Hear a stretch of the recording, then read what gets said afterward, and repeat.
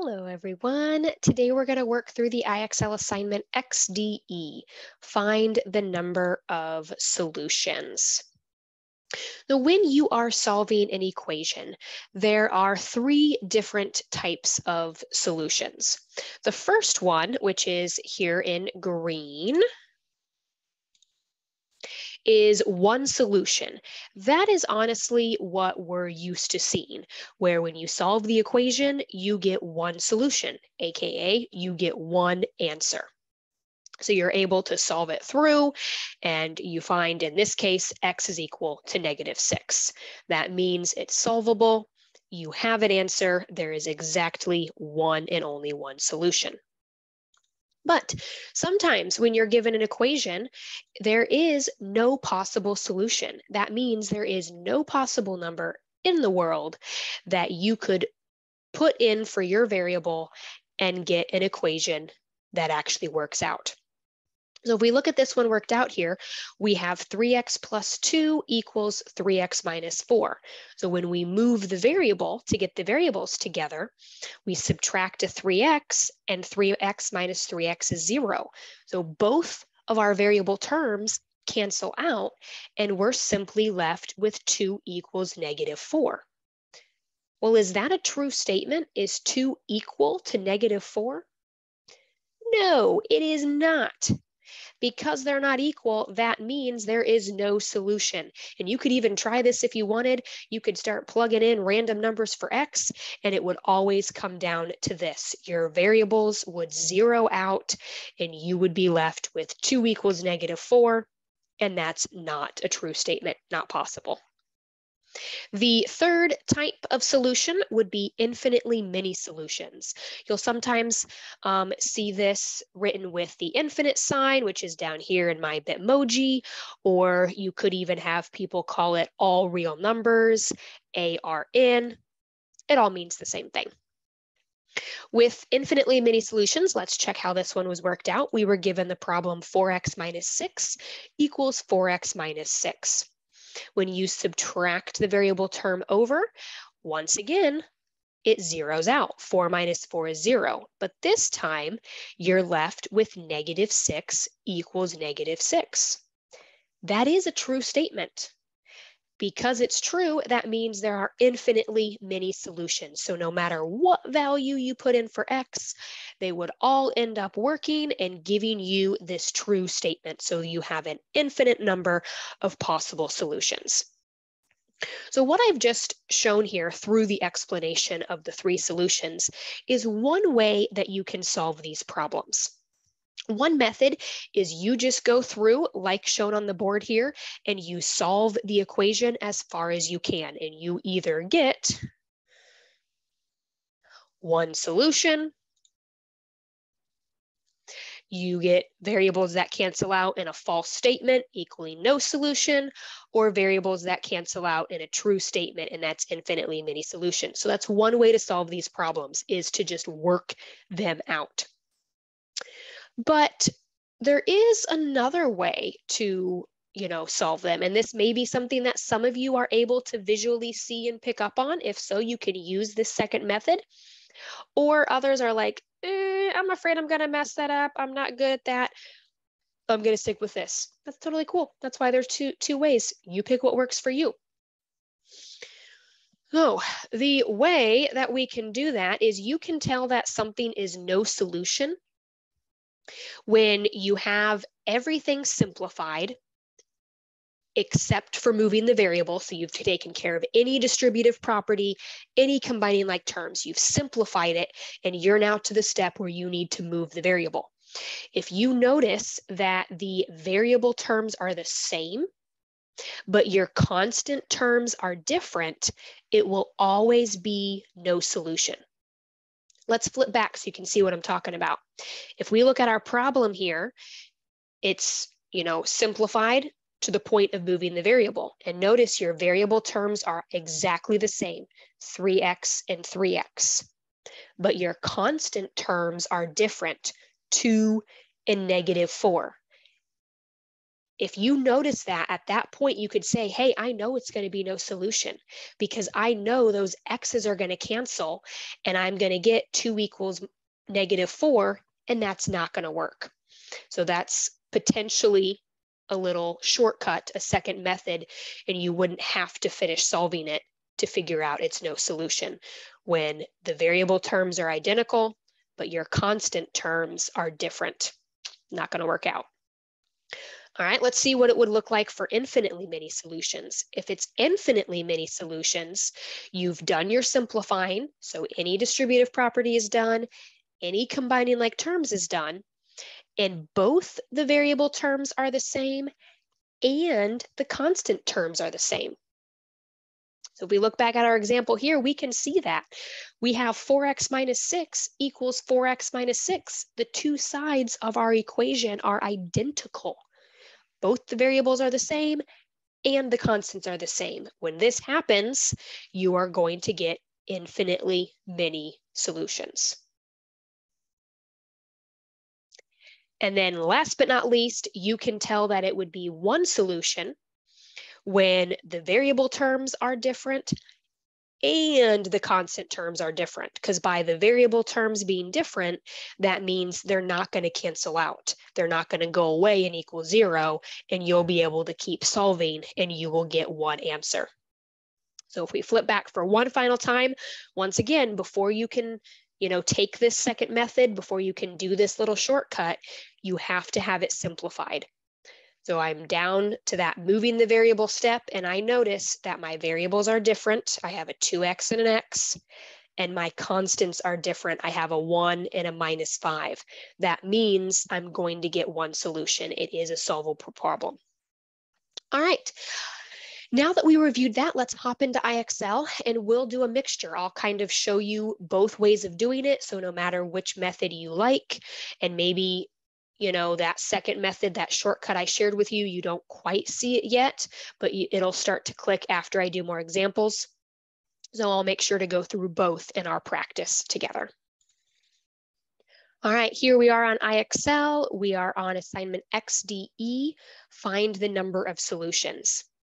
And just a quick little plug, remember guys that there is an IXL video that's a help video that IXL itself has made. So when you're finished with this, if you want to see more examples or you still have some questions, check out that video because it can help to hear it from a different voice, to hear it from a different point of view that can, you know, sometimes make things click.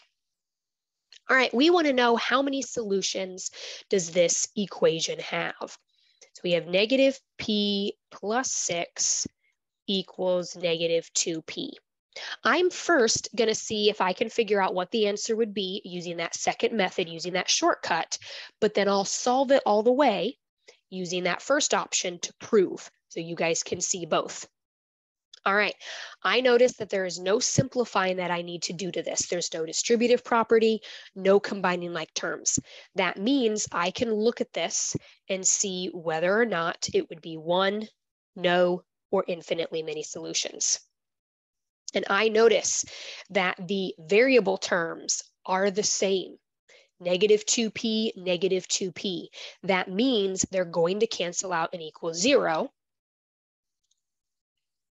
So it will either be no solution or infinitely many solutions. So it's not that one because I know these are going to cancel, which means it's either no or infinite. If I look at my constant term, on the left here, let me draw my line so we can see the two sides of the equation better. On the left here, I have a plus six, and on the right, I have nothing. So my constant terms are different, meaning our answer is going to be no solution. But let's go ahead and work it out to prove that. All right, if I want to prove this, I need to get my variables by together. So we're going to move this variable by doing the inverse operation. The inverse of a negative 2p would be adding 2p to both sides. Negative 2p plus 2p is 0. So that cancels out, and we're left with 6. Negative 2p plus 2p is 0. So that cancels out, and we're left with 0. Is 6 equal to 0? No, it is not equal. That's not a true statement. Therefore, supporting the answer we already said, it is in fact no solution.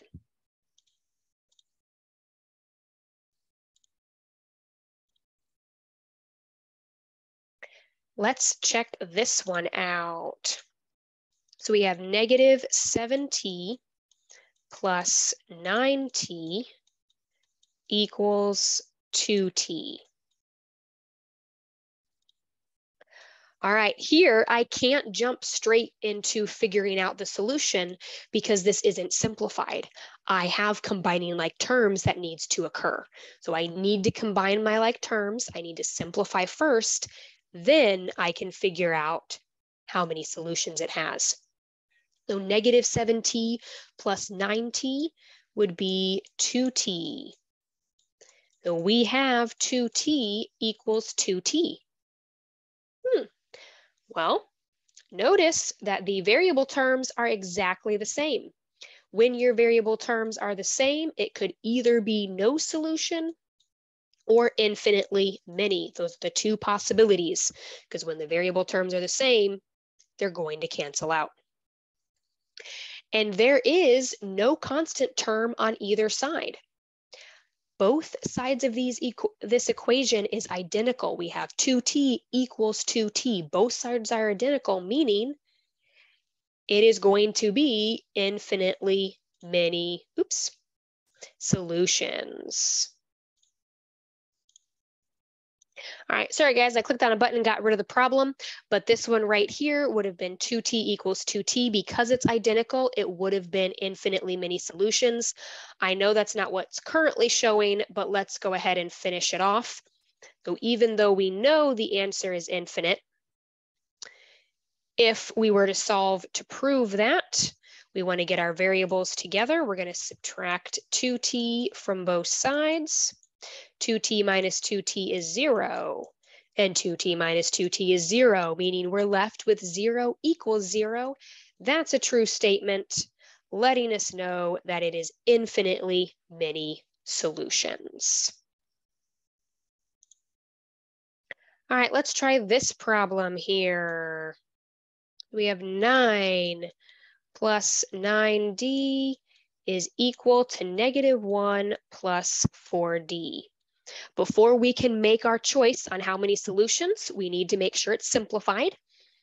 Is this, with the exception of moving the variable, is this simplified? Yep, there's no parentheses telling me to distribute. If I look at the left here, there's no like terms. If I look at the right side, there's no like terms. So I can go ahead and make my decision. When I look at the variable terms, I notice the variable terms are different. We have a 9D and a 4D, as well as your constant terms are different. We have a 9 and a negative 1. That means that we are going to be able to solve this. This is going to be one solution because since our variable terms are different, they will not cancel out and they will give us one answer. If you're able to see this, you don't have to work the problem out. You can just click one solution and move on to the next. But if you're not able to see that, there's nothing wrong with it. Let's go forth, let's solve it so we can prove that to be the case. We need to move our variable to the other side. We will subtract 4d from both sides.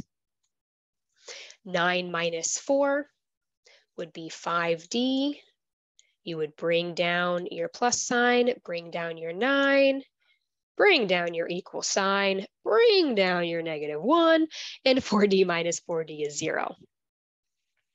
All right, we need to solve for D. We notice that it did not get canceled out. So at this point, maybe you would be able to recognize it's one solution because you just moved your variable and it still exists. It didn't cancel out, meaning you can continue to solve. You will get one solution. And if we continue to solve, our next step would be to subtract 9 from both sides, leaving us with 5d equals negative 10. And then when we divide both sides by 5, d is equal to negative 2 which, which is in fact one solution. All right, we're going to do some more together. We are going to switch now that we have worked one out of each type and proven it.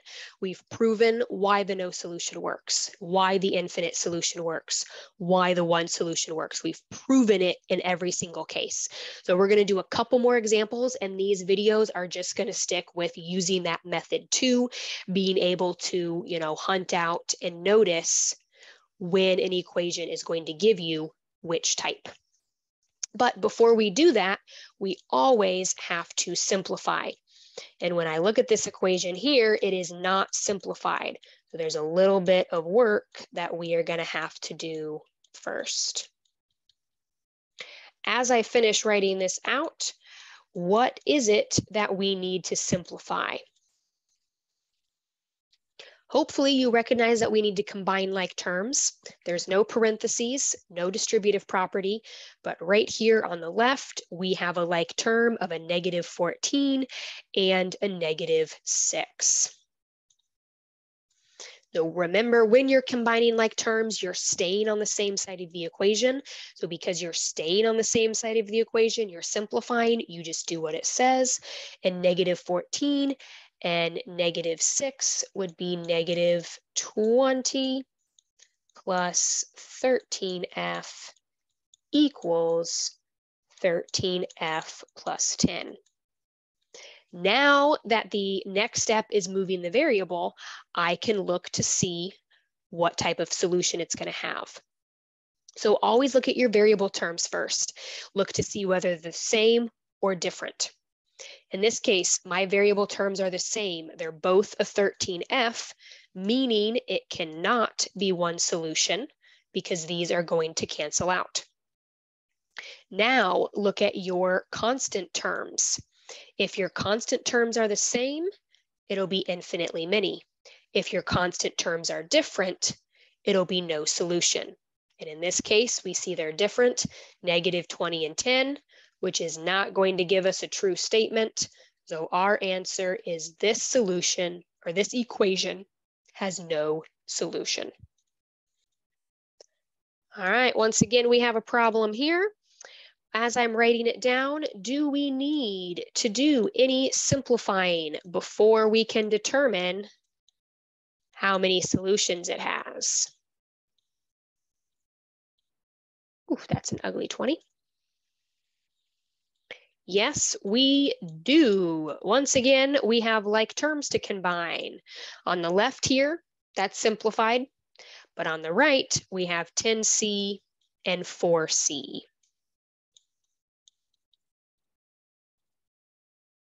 So 10C plus 4C would be 14C minus 20. All right, now that it's simplified and I'm down to the moving the variable, I can determine how many solutions it has. So look at that variable term. In this case, we have a variable term of 9C and 14C. Are they the same? No. When your variable terms are different, that automatically tells me that it's going to be one solution because these aren't going to cancel out. You'll be able to work through the steps and solve it. So for this problem, one solution is your answer. Okay, let's do one final problem together. As I'm writing this down, when we look at our equation here, is there any simplifying that we need to do? Yes, sirree, there is. What do we have to do this time? This time we need to distribute because we see these parentheses here. So we need to distribute. On the left, there's nothing that needs to be done. That left side is already simplified, but on the right, we're gonna distribute. So negative two times 10K would be negative 20K, and then negative two times four would be negative or minus eight. All right, now that we're simplified, let's look to see how many solutions it has. First, check out your variable term. Are they the same? Yes, they are. So if your variable term's the same, that means it's either no solution or infinitely many solutions. So next up, look at your constant. Is your constant the same? Yes, it is. That means we're going to have infinitely many solutions because both sides are completely equal to each other. All right, it is your turn to try it. I know that you can do well, but of course, if you run into any questions or need some more practice together, just make sure you send an email or come to a help session. Bye.